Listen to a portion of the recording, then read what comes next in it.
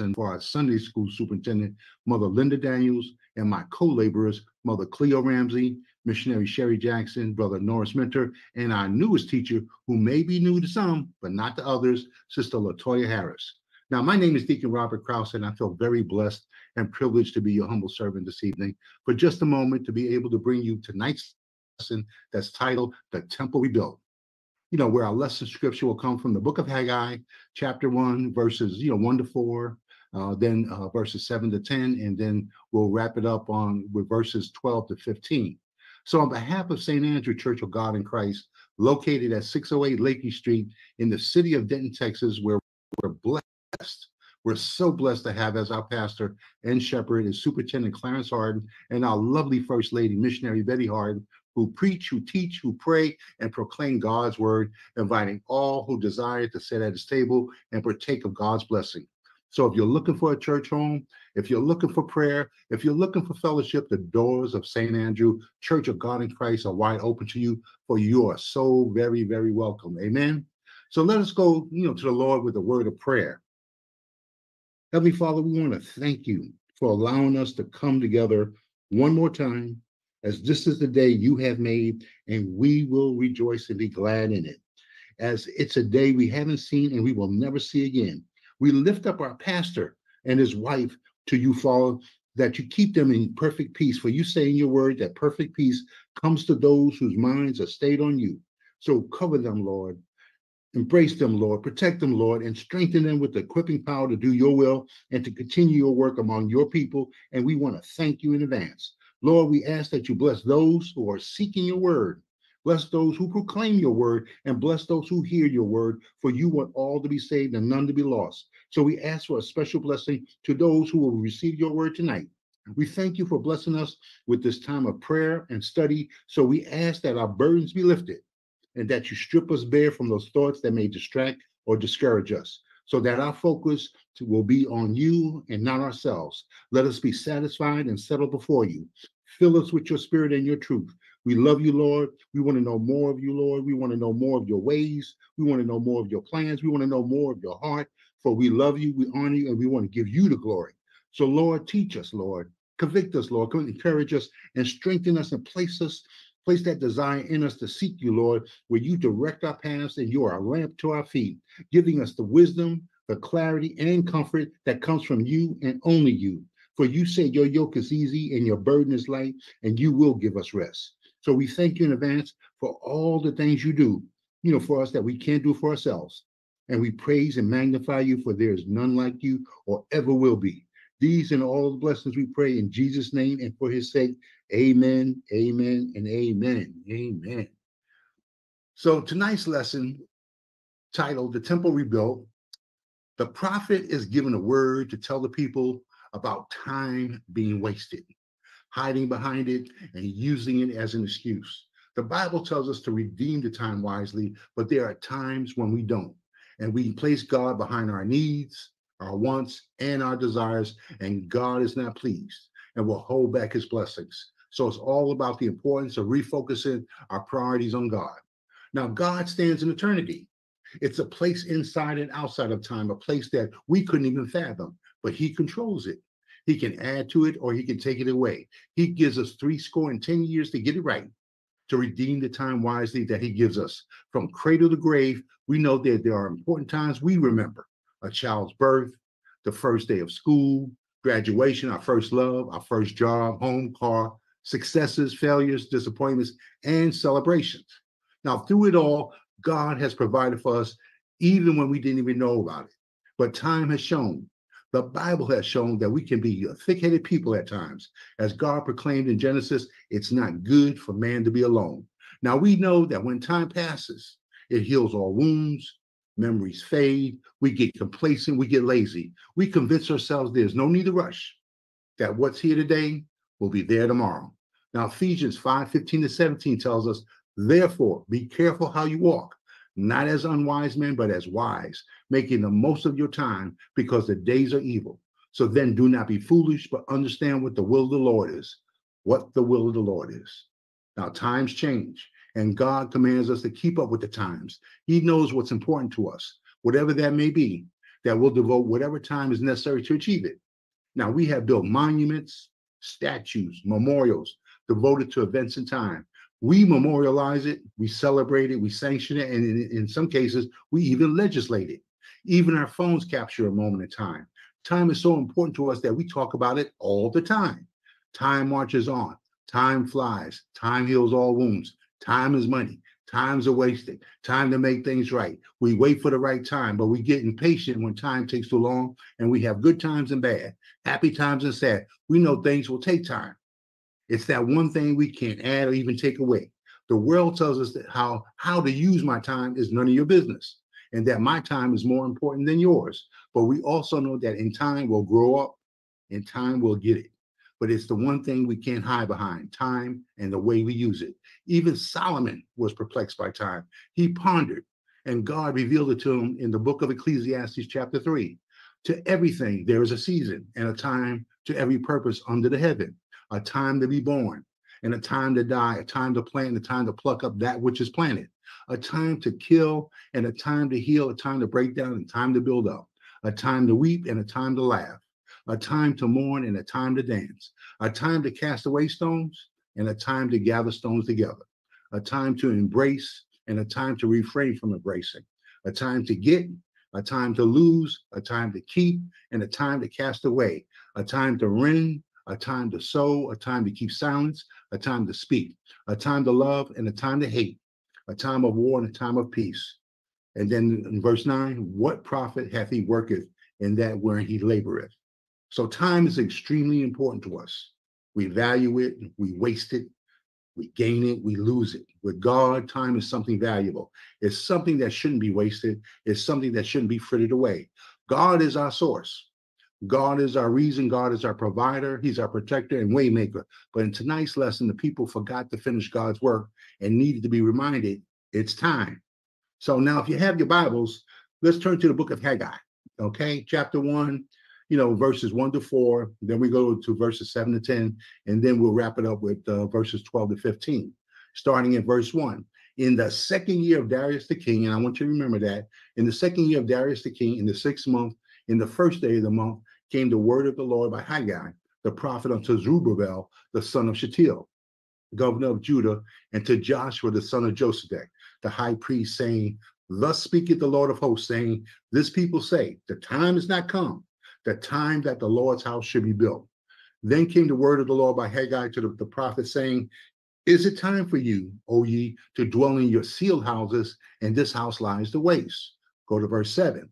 Thus say the Lord of hosts, consider your ways. Go up to the mountain and bring wood and build a house, and I will take pleasure in it, and I will be glorified, saith the Lord. Verse 9 Ye look for much, and lo, it came to little. And when you brought it home, it did the blow upon it. Why? Saith the Lord of hosts, because of mine house that is waste, and ye run every man unto his own house.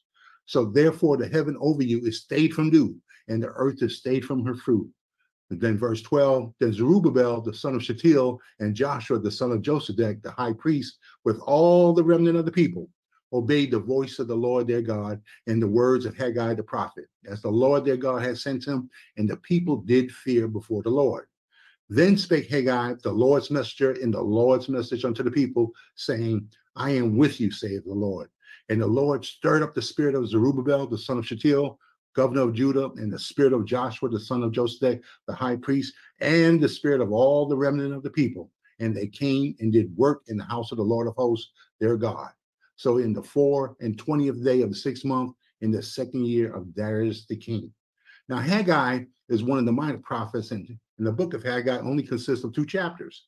But his ministry was to the children of Israel as they were at the end of their captivity. God's people were taken were, were taken 70 years ago by the Babylonians who were ruled by King Nebuchadnezzar. Okay, the Babylonians destroyed Judah, they destroyed Jerusalem, they destroyed Solomon's temple, and took all the sacred objects, all things of value, plus all the people captive. The children of Israel were in captivity by Nebuchadnezzar, who ruled over them for the next 47 years until the Babylonians were defeated by the Persians. Now, scripture tells us in the book of Ezra that 15 years prior, that God moved upon the spirit of King Cyrus to decree the return of the Jewish exiles to the homeland, to rebuild and resume worship. Now, I'm going to say that again. to rebuild and to worship. Now, God has been gracious to them and have placed it on the king's heart to let them return. He sent his prophet Haggai and Zechariah, you know, to encourage the people. He positions Zerubbabel as the governor to oversee their return and the rebuilding work, and he positioned Joshua as the high priest to oversee the worship. Now, the king gave them everything they needed. All they had to do was show up and do the work. None of them had any reason as to why they couldn't do what they were instructed to do. Now, we know that our journey of faith, sometimes it becomes difficult. We know that once we commit to serving God, that opposition will come, troubles will come, that there will be people placed in our way to impair and impede the work of the Lord. We will get challenged on every front. But through all of that, we know that God is our source. He'll give us the strength, the means, the wherewithal to succeed. We know that whatever work God blesses, He can do anything but fail. But we have to hold on and remain committed. We have to remain faithful. We can't be discouraged where our ministry and our faith is placed on the back shelf until, until times get better. We need to keep the main thing the main thing. The children of Israel, these exiles faced opposition on many fronts, and they became discouraged. And sadly, the work comes to a halt for the next 15 years, and God is not pleased. Not because the work stopped, but because the reasons why his house laid in ruins for the next 15 years. So Haggai visits with them again. So let's get into the lesson, starting in verse 1.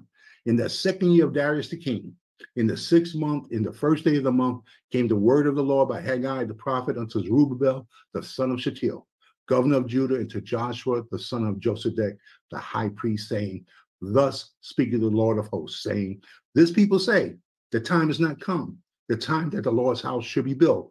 Now God's remnant has been free to move back to Judah back to Jerusalem, back to their homelands for the sole purpose of rebuilding the temple and to resume worship. They only got as far as to rebuild the altar and lay the foundation for the temple. But the people became discouraged and the work stopped and lay dormant for the next 15 years. And the people began to focus on themselves more and more and focus on God, you know, became less and less. And they decided now is not a good time to rebuild and decide to put God's business on the back shelf. But God is patient. God is gracious. God is just. And at this point, God decides that the clock has ticked long enough. And this is time for him to step in and he gives a word to Haggai to light a fire under the people one more time. And he sends Haggai to the ones who were there from the beginning the governor Zerubbabel and the high priest Joshua, the ones who were charged and placed in authority to get the work done. But they haven't done anything, anything at all to get it going again. So, as the scripture tells us in the first verse, that on this day, the sixth month and the first day in the second year of King Darius, things are about to change. And we look at the Hebrew calendar, this was September 1st, the festival of the new moon, where work stops and people look for a word from a prophet. Now, the word from Haggai is this is because God is angry. He's displeased and he wants answers from Zerubbabel and Joshua. But he refers to the children of Israel as this people, not his people, but this people. Who are these people who have decided that the time is not right to build the Lord's house? If not now, then when? Let's go to verse 3. Then came the word of the Lord by Haggai the prophet, saying, Is it time for you, O ye, to dwell in your still houses, and this house lies waste? From the beginning, God supplied the means. He gave them instructions on how to rebuild the temple. He supplied the craftsmen, the carpenters, the iron workers, stonemasons, the money, and the motivation and the freedom to complete the task and the time to do it in. Now, Haggai, you know, speaks to the same people in power who were appointed, who were assigned, who were instructed to rebuild the temple. It wasn't easy. They faced opposition from their captors, from the leaders in neighboring areas, and the conflicts between those from the northern and southern kingdoms who had their own agendas for Jerusalem. But like the people, they started strong, but they didn't finish well. They became lazy and complacent. And you know how we can get when we feel things are not urgent and there's more important things for us to do. It's about neglect. Now, Haggai calls them out on their hypocrisy. You don't have time to build my house, the one who sustains you, the one who provides for you, the one who freed you from captivity, the one who holds up the heavens, the one who prospers and keeps you from any hurt, harm, or danger. But you don't have time to do what I command you to do but you found the time to do what you wanted. You found the time to build your own houses, but not only to build them, but to build them with walls and ceilings to build all the comforts for yourself. But my house, the Lord's house, The main reason for your return to Jerusalem, you put off and let it be barren, and my house is still laid to waste. Now, something needs to be done. Something was to be done, something has to be done, and God is upset that nothing has been done to finish the work. Now, God asked the question What's the problem? Why is my house not built? I've given you everything you need to do it. When will be the right time to build it? Is it time for you to build your own houses with covered walls and ceilings, but my house still sits in ruins? Now, Haggai tells them they need to come up with plan B, for time is not the problem. Okay? 15 long years have gone by, but it didn't stop you from doing what you wanted to do.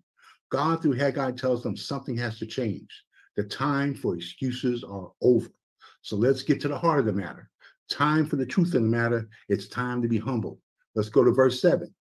Thus say the Lord of hosts, consider your ways. Go up to the mountain and bring wood and build a house, and I will take pleasure in it, and I will be glorified, saith the Lord. Verse 9 Ye look for much, and lo came the little. And when you brought it home, I did blow upon it. Why, save the Lord of hosts? Because of mine house that is laid to waste, and ye run every man unto his own house. Therefore, the heaven over you is stayed from dew, and the earth is stayed from her fruit. Consider your ways. What makes you think you can put off what I commanded you to do? This is a rebuke from the Lord. Now, as what the people will do next and how they respond will affect how God responds to them. He lets the people know that their efforts, their homes, their work is blessed by Him. But because of neglect, because of apathy, because of the laziness of the people, God holds back His blessing. He holds back prosperity. He holds back increase. He tells them that you seek more, but you'll never get it. You'll never achieve it. Whatever you put in the ground, I'll just blow it away everything you do will be a struggle because I hold back the dew from the heavens. Your crops, your harvest will always be poor. Instead of stepping up and committing fully to the work, you rather run to your houses because now is not the right time. Neglect. Now we know God has a way of humbling us when He has to. We struggle, we wrestle, we carry a burden about something or someone. He places a thought or a vision in our heads that we just can't shake. We have an urge and a desire to do what God wants us to do but it always begins with us to consider our ways. Be that reflection of God that we're supposed to be. Second Corinthians 13 and 5. Paul challenges the Corinthian church to pause in what they were doing and, and to know why they were doing it. And it says, examine yourselves, whether ye be in the faith, prove your own selves. Prove your own selves. God gives them three things to do in order to redeem themselves. And it starts with obedience. He says, one, go to the mountain. Now you need to commit. You need to stop what you're doing. You need to get out of your covered houses and go to the place I send you. Two, bring the wood. My house needs a certain kind of wood. It needs fresh wood. It needs new wood that you'll find on this mountain.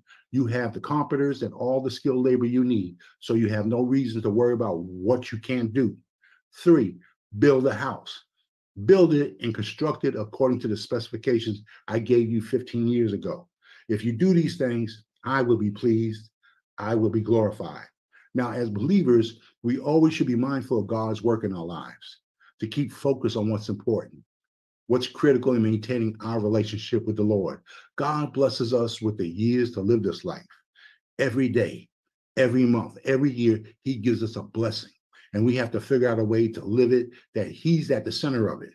Whatever He's called us to do, we should give our very best to the one who gives us His very best. When we even look at our church, we know it was built by hands, but blessed by God. Anytime we see God's house, we should rejoice because it serves as a continuing symbol of God's grace and his faithfulness to his people, a light that will always shine through the world's darkness that gives him glory. Amen. So let's go to verse 12 and 15. Then Zerubbabel, the son of Shealtiel, and Joshua, the son of Josedek, the high priest, with all the remnant of the people, obeyed the voice of the Lord their God and the words of Haggai the prophet, as the Lord their God has sent him, and the people did fear before the Lord. Then spake Haggai, the Lord's messenger, in the Lord's message unto the people, saying, I am with you, saith the Lord.